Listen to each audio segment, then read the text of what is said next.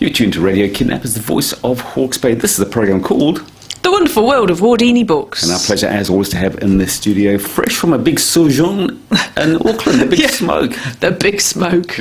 Was that good? Yeah, it was brilliant. We saw the inside of the ASB arena, some ver- burger vans, walked across the park to go home, and that was it for four days. you And we sold lots of books. Armageddon. That's it. You cannot beat a good burger. No, it was brilliant. Do you know what it had in it? It had a hash brown in it, Oh, yum. and pineapple and cheese, and onions. And it was amazing. I had one a day for four days.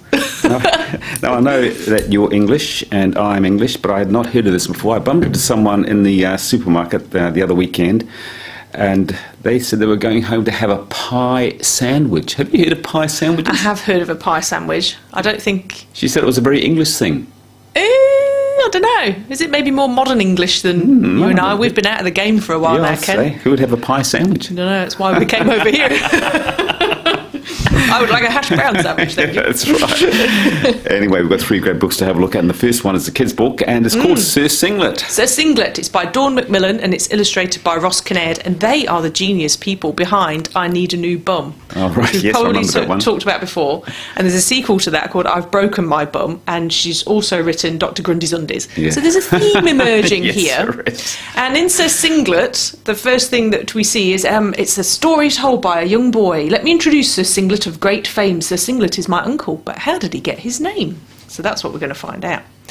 So, um, so he's tall and handsome Mm. and classy and handsome and very well dressed, and even the horse is very I well that, dressed. say. But his undies are just like leave, leaving a lot to be desired. There's always a picture like that in Yeah. these books of a bum, a Yes. shiny bum. They're Yes. generally shiny and a bit rosy. Um, so he's got saggy knickers, boring red stockings, and a boring white tunic, and it's very, very sad. So he decides he's going to develop a beautiful underwear range. So, so they're going to have socks and all sorts of things, quite Oh, beautiful, colourful. It is colourful, isn't it? Yeah, all sorts of things with eyes, socks with eyes on, underwear with eyes on, and teeth and snakes and stuff like that. But just when the undies and socks were all done, the king called a battle, a war to be won. War! Tough luck. Uncle was about to launch nightwear. Did you get it? Did you Yes, get I it? get it. Yeah, very good, very good. so anyway, but off they go. So he's launched nightwear, and it's all very beautiful. But it's not going to go well for the king's army, and things are looking really, really bad. And then what happens is they ran. The, the enemies run away. Why? Because I think someone has shown their underwear. Look at and they're just like, "What the hell is that? That's obviously a demon from underneath." It's very and we're all going to run away. And I like the colour, and I like the humour, and a bit of rhyme, and just the fact that you can battle with fun and yes, indeed. yeah. And it's amazing how colour sells it to little kids, isn't it? They love yeah, it. I think so. And anything with a bum in it as well. Nice Yeah, shiny that's rosy right. bum. Very nice. And our next book is called The Constant Rabbit. Yeah, it's Jasper Fforde, and I really like him. He does really literary, clever, weird fiction. So it's kind of fantasy, but as you read it, you think, well, no, that could happen. So in this one, there's been an anthropological event. Hmm. Nobody knows why it happened, but it happened. We're in the near future here, and rabbits are the subject of this anthropological event, and they are now as tall, if not taller, than human beings, and they stand upright, and they wear clothes, and they talk, and they're a bit cleverer Wow, than humans is- as well. Yes, that is.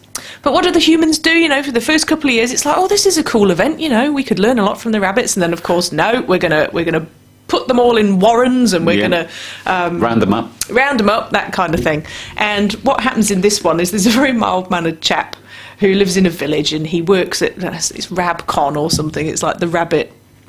You know, keeping an eye on the rabbits organised department of the government, and he um, can recognise one rabbit, distinguish one rabbit from another. So he's got a super skill there because apparently not many humans can do it, and rabbits aren't very good at recognising one human from another. So they'd know by my voice maybe that it was me, but if they just walked into a room now, they wouldn't be able to tell which one was Lou or Ken, even though they've met us lots of times. Yes, indeed.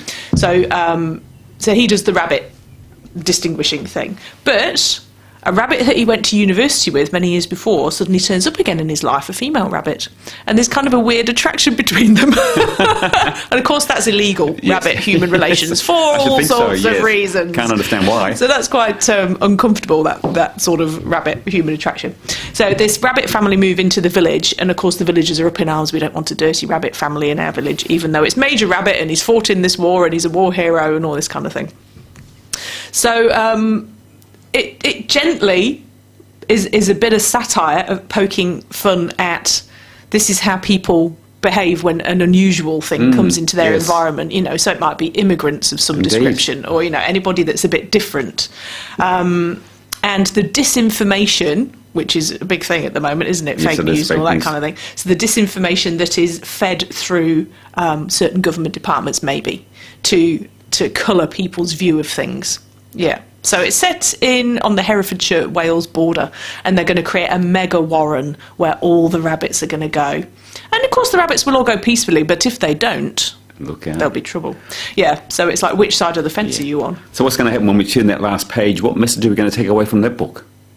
It's a bit, it's a bit of a sad ending, actually. I won't spoil it for anybody, but um, I don't know if humans learn very much in the end, because you know the me- the message is there is uh, you know the rabbit way. They talk about the rabbit way, and it's quite lovely, you know, because you live in groups and you look out for one another and you grow your food, and, and they're vegeta- vegetarians, and that's another thing the humans go. Vegetarians are going to take over. Um, we'll all be vegan, and it'll be terrible. Um, yes, it will be. but yeah, yeah, it, it's it's one of those beautiful books where it's funny and it's got a really rollicking, thumping, good plot. There's Yeah. lots of rabbit puns in here.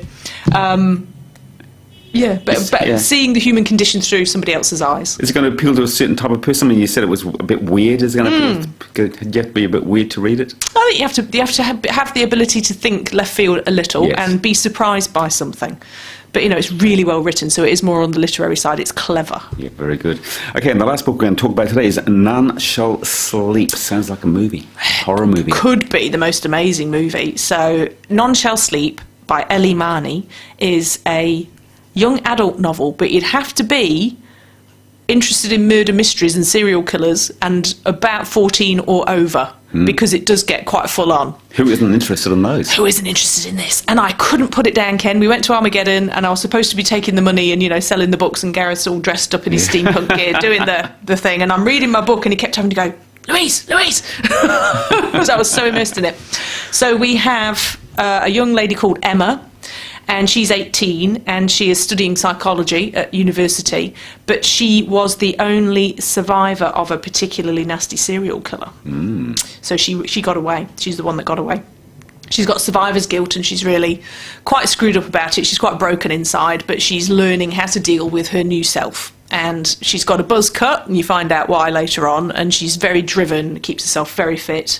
Um, studying psychology, wants to know what's going on in the minds of people that do stuff like that.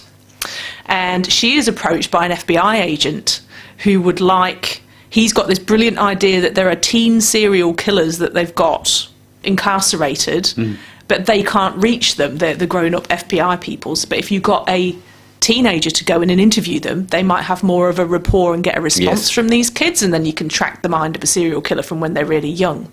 So he tries to recruit her and tells her there's going to be a department, but the department is her and one other guy, who is also is a young lad. He's about the same age as her, and he's just started at some kind of I don't know police college thing because his father was a police officer and his father was murdered by a very notorious, scary teenage serial killer called Simon Gutmunsson, who is incarcerated in this amazing criminal. Um, what do you call it? The criminal prison. Ah, yes, sort of like a high tech prison. Yeah, Yeah. you know, he's he's kind of like a Hannibal Lecter. Yeah. So Simon Gutmunsson is in this beautiful, it's a converted Gothic hall or something, Mm. and he's in the chapel and there's stained glass, and he's in a cage in the Yeah, middle right. of it, and there's one guy that uses pincers to pass him things through the bars, and there's barriers all around the cage. It's very Hannibal Yes. Lecter. So um, they have to pick the minds of this Simon Gutmunsson. Emma and Travis is the boy's name to to to get clues to. They're only supposed to work on cold cases, but then there turns out that there are some connections between Simon and a really nasty serial killer that's currently attacking people and escalating.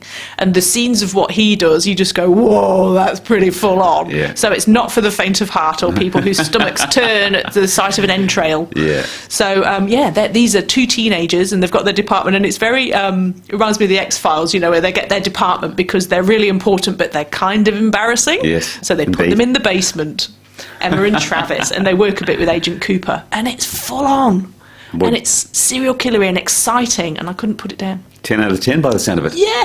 Yeah, Read and- it so quickly. And also, by the sound of it, going to appeal to more than young readers. Yeah, so in the shop we've put it in the young adult and we've put it in the adult section Mm. because a really, really strong, pacey young adult novel is just as good Yeah. for grown ups to read.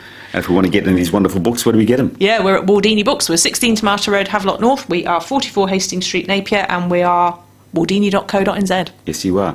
And as always, my pleasure. You look after yourself. Talk to same time, same place next week. Cool, thanks, Ken.